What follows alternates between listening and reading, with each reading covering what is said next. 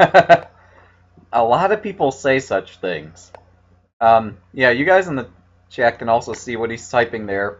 Um, and a lot of people will claim I usually don't play this badly. Um, as if all opponents play the same way. Like, if I'm playing differently than your average opponent plays, then if you do play at your average strength, I'm going to, I don't know, throw you off balance in some way.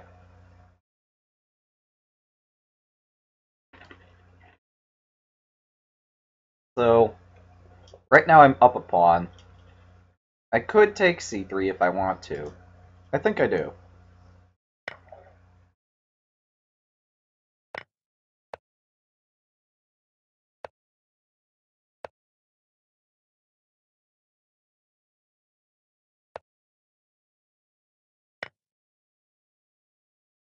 Could have taken with the rook. Hmm.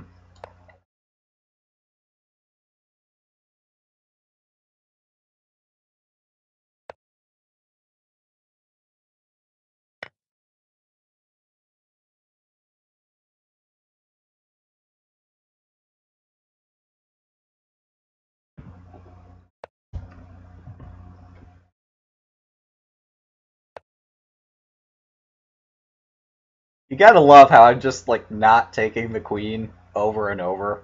Like, nope, nuh-uh, not gonna take it. And then as soon as he steps out of this, then I'm gonna take it.